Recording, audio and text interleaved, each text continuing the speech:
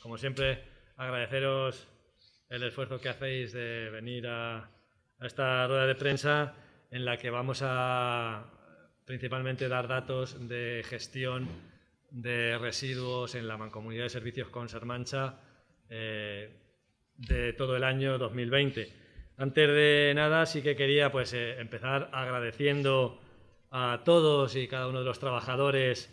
del servicio de recogida y también los trabajadores y trabajadoras de los servicios administrativos, pues el enorme esfuerzo que han hecho a lo largo de, todo el año 2020, año en el que nos ha cambiado la vida a todos y a todas y en circunstancias eh, muy especiales y muy complicadas, sobre todo eh, cuando estalló la pandemia ya por marzo de 2020 y bueno, pues nos pilló a todos eh, desprevenidos y no sabíamos muy bien qué consecuencias podía tener esta terrible enfermedad que ahora ya estamos viendo la repercusión que ha tenido. Eh, en ese sentido, pues quiero eh, pues eso, mandar ese mensaje de agradecimiento pues a todos y cada uno de los trabajadores de la mancomunidad y también a la empresa eh, CESPA, que es la que nos gestiona la recogida y tratamiento de basura, por ese gran esfuerzo, por esa profesionalidad y por esa implicación que han tenido durante todo el año, insisto, en, situación eh, muy complicada. Eh, y bueno, pues al fin y al cabo, un servicio que como todo el mundo sabe es fundamental y básico. Todos nos podemos imaginar las consecuencias que tiene el no recoger la basura unos días, así que con esas consecuencias podríamos aventurar eh, qué es lo que hubiese sucedido si el, servicio no se hubiese prestado eh, todos los días como, ha sucedido a lo largo del 2020. Así que insisto en ese, en ese agradecimiento. Eh, también y muy especialmente a los trabajadores de los puntos limpios. Tenemos en la mancomunidad un patronato de medio ambiente, patronato que se encarga de gestionar los puntos limpios en los 21 municipios de la mancomunidad y la peculiaridad es que son todos trabajadores con eh, discapacidad. Por lo tanto, eh, bueno, pues también eh, quiero lanzar ese agradecimiento a todos y cada uno de los trabajadores del patronato, pues también por el esfuerzo que han hecho a lo largo de todos estos meses en el desempeño de, su trabajo. De hecho, para, de cara al 2021 tenemos previsto incrementar la plantilla en dos trabajadores más. así que bueno, pues es un patronato del que nos sentimos muy orgullosos en el seno de la, de la mancomunidad, todos y cada uno de los representantes que formamos parte de esta familia que es eh, Consermancha, los 21 municipios que la componemos. Eh, ya pasando al, detalle de los datos, decir que a lo largo de 2020 hemos eh, recogido y gestionado 72.926,93 toneladas de basura en el conjunto de la, mancomunidad. En esta cantidad se incorporan las 6.000 645,39 eh, toneladas provenientes de los siete municipios del área de gestión de las Pedroñeras, que también eh, recibimos eh, la basura en la planta de tratamiento que tenemos aquí en Alcázar. en concreto, un incremento con respecto al 2019 de un 1,47%. Eh, de recogida y tratamiento de basura. Por lo tanto, a pesar del año que hemos pasado, pues eh, decir que se ha incrementado el, eh, el, número de toneladas que hemos recogido y tratado a lo largo del 2020 en la planta de tratamiento que tiene la mancomunidad aquí en Alcázar. de estas toneladas, Decir que el desglose de la línea amarilla, que así se llama, lo que son los contenedores de selectiva, que todo el mundo sabe que, tenemos en todos los municipios, el contenedor verde, el azul y el amarillo, el de envases, decir que hemos recogido en vidrio 1.542,88 eh, toneladas, en papel cartón 2.771,38 y en envases 2.353,40. Aquí los porcentajes de incremento con respecto al, año pasado, el año 2019, eh, son un 0,16 negativo en vidrio. Esto es como consecuencia de que cada vez en los lilianes de los supermercados, en las tiendas, encontramos menos vidrio, se está sustituyendo eh, todo, eh, o se está intentando sustituir por envases en brick o en plástico. Que tienen menos coste de fabricación y son más fáciles de reciclar. Eh, por lo tanto, tiene sentido el que la producción en vidrio y la recogida en vidrio en selectiva eh, vaya disminuyendo año tras año.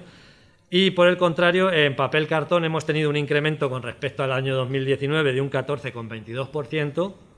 y en envases un incremento del 19,17%. Esto significa pues, que afortunadamente cada vez más la población se va concienciando y va incrementando el reciclado en sus hogares y depositando eh, correctamente en los diferentes eh, contenedores eh, puestos al efecto. Aquí voy a introducir, aprovecho que estamos trabajando a lo largo de este 2021 para incorporar la línea de recogida del contenedor marrón, que será una realidad en abril, pasado el primer trimestre del 2021. toda esta puesta en marcha se está haciendo con fondos eh, FEDER, con fondos europeos a través de la Consejería de, Desarrollo Sostenible y, bueno, pues se va a, invertir una cantidad importante, son 9 eh, millones eh, y medio aproximadamente de euros entre los fondos que provienen de, subvenciones de fondos europeos más la parte del 20% que tiene que aportar de fondos propios la mancomunidad. Por lo tanto, se va a mejorar considerablemente la planta de tratamiento, haciéndola más moderna y más eficiente, con nueva maquinaria eh, tecnológicamente más, eh, más eh, eficiente y se va a incorporar pues, esa recogida selectiva de materia orgánica, como digo, a lo largo de este, de este año 2021, a partir de abril, que empezaremos a ver el contenedor marrón en nuestras calles.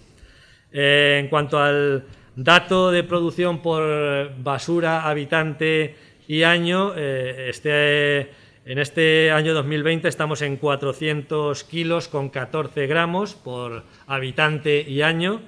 Eso arroja una cifra de un kilo con 0,9 por día eh, y habitante en nuestra mancomunidad. Y eh, también el desglose en cuanto a recogida por habitante y año en vidrio, estamos en 9 kilos con 31 en la selectiva, en papel cartón 16 kilos con 73 gramos y en envases 14 kilos con 20 eh, a lo largo del año, en los 365 días del año.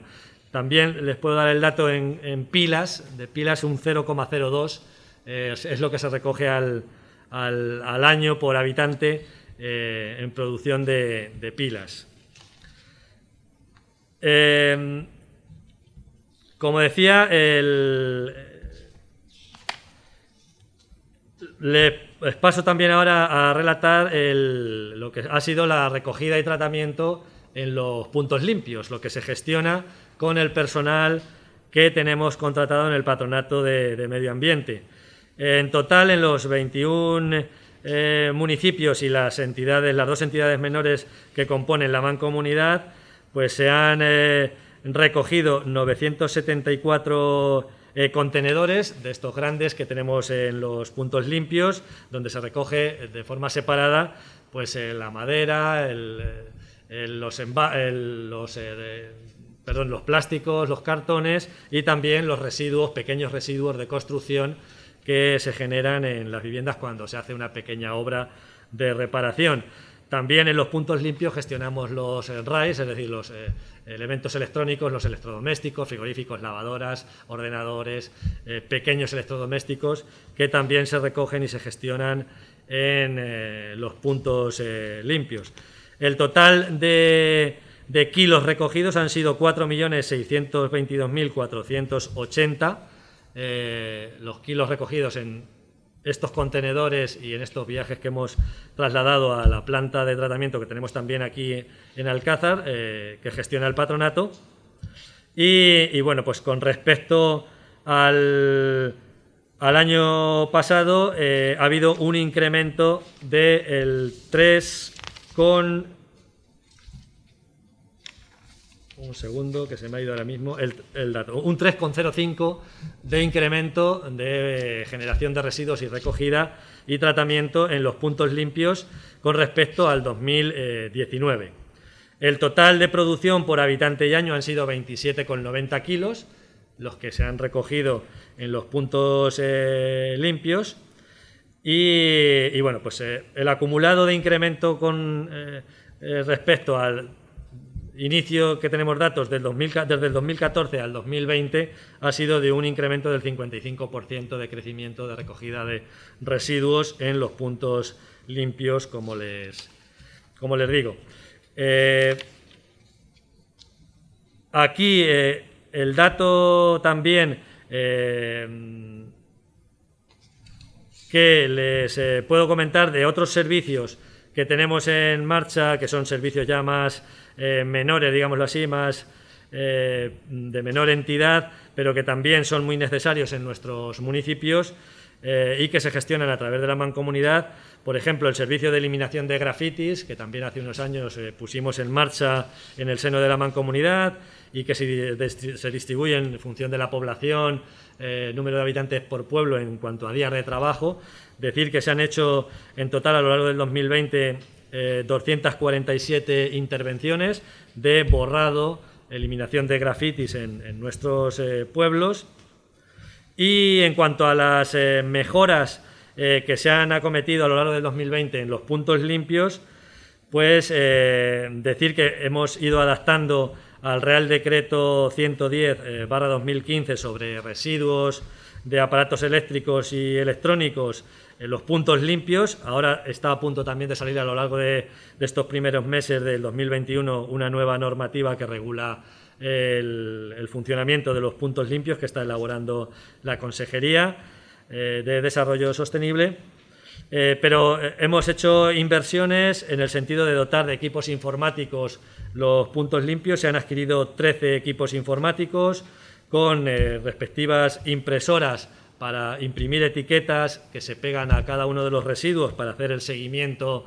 eh, de todo el, trayecto del, residuo hasta el,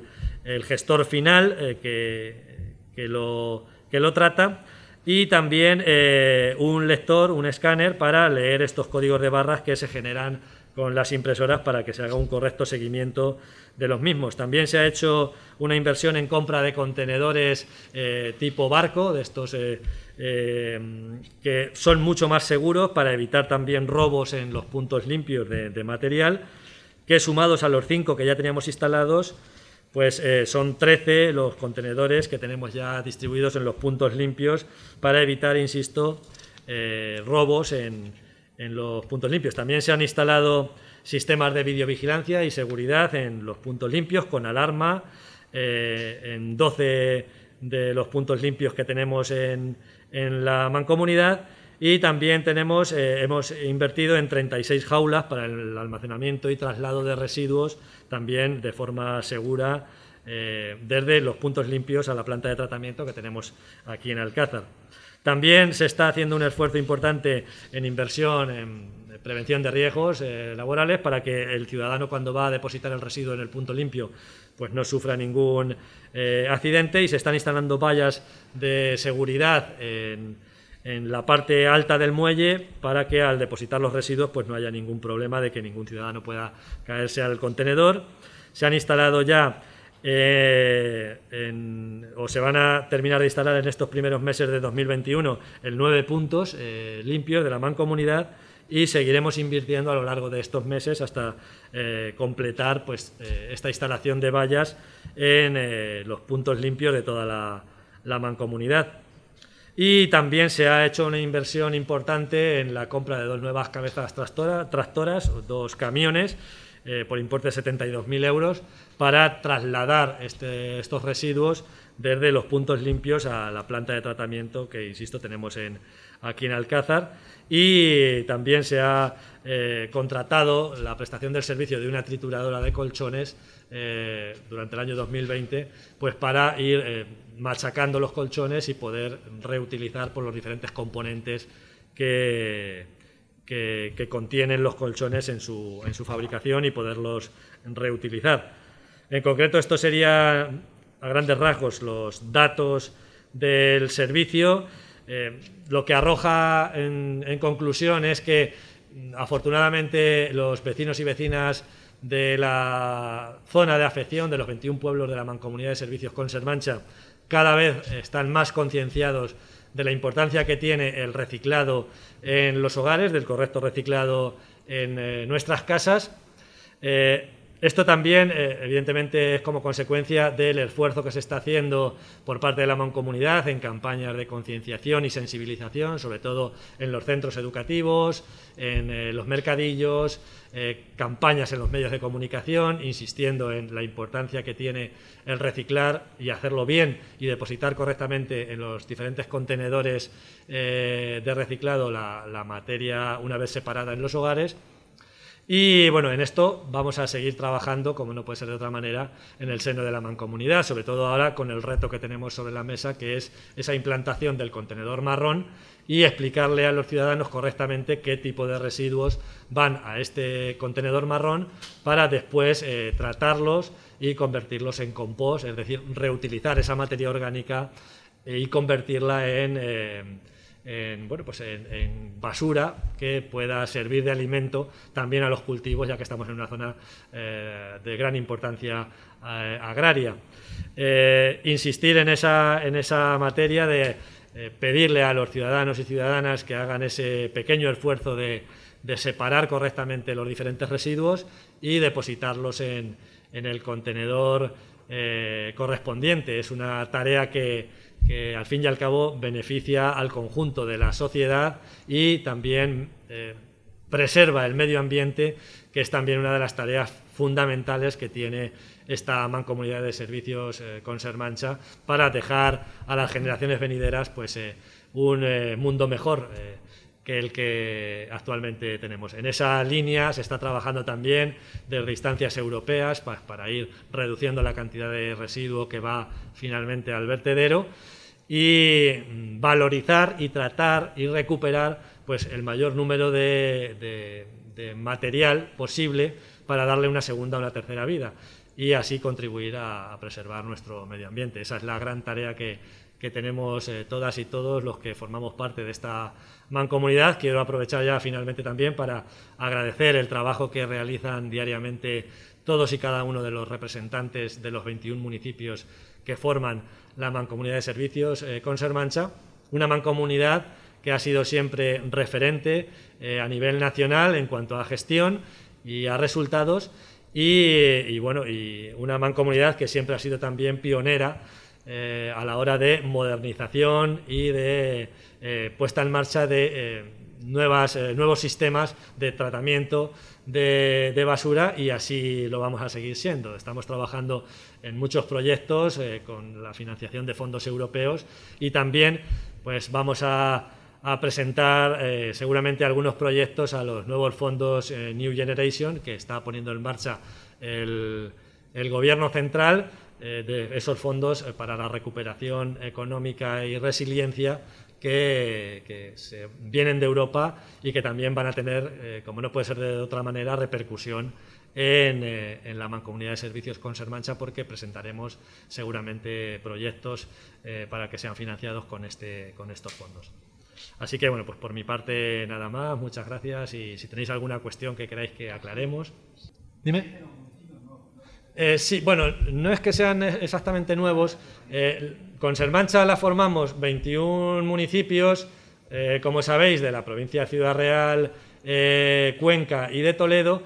pero también recogemos, bueno, tratamos, la recogida la hace el consorcio de, Cuenca, el consorcio provincial, pero lo que es el tratamiento de la basura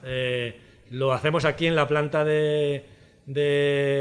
Alcázar de San Juan de siete municipios de la zona de afección de las Pedroñeras, de Cuenca. Entonces, eh, eh, esa basura que generan y los, subproductos, es decir, lo que es la selectiva, se trata en la planta de, Alcázar. Esto es así por las áreas de gestión que están establecidas a nivel regional, que como eh, sabéis son los cinco consorcios provinciales y con Sermancha. Son los encargados de recoger y tratar la basura. Y claro, pues estas áreas de gestión, que ya están eh, perfectamente delimitadas en la Consejería de Medio Ambiente, pues eh, engloban a, a, sus correspondientes municipios. Los consorcios provinciales, pues a los pueblos de cada una de las provincias, que no están en Consermancha, claro. Eh, son cinco consorcios provinciales y, y Consermancha. Exacto. Sí. Eh, yo quería preguntar en concreto por los puntos limpios. Eh, parece ser que el punto limpio de Alcázar está sufriendo bastantes robos,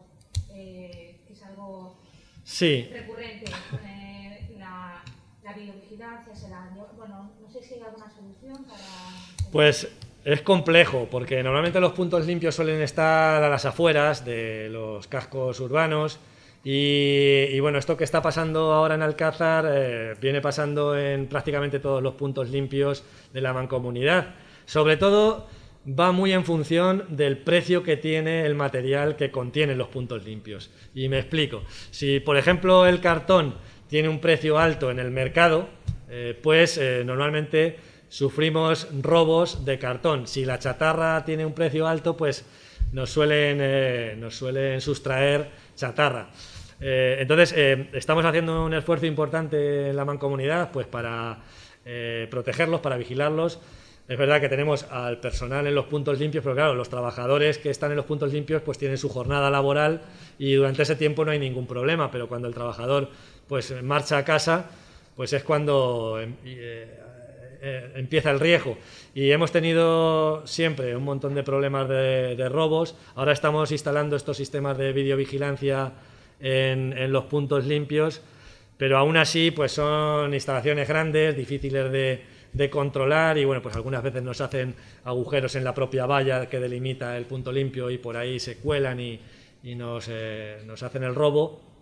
Pero bueno, en ello estamos eh, trabajando, como digo, intensamente para intentar evitarlo, porque al fin y al cabo, pues también es un eh, problema para el conjunto de la, de la, mancomunidad, porque todo lo que se recoge en los puntos limpios al final se termina valorizando y es un dinero que, que, se convierte en dinero público y con el que generamos más prestación de servicios, como comentaba, por ejemplo, al principio, ese incremento de contratación que tenemos previsto de cara al 2021 o mejoras en los puntos limpios, en fin.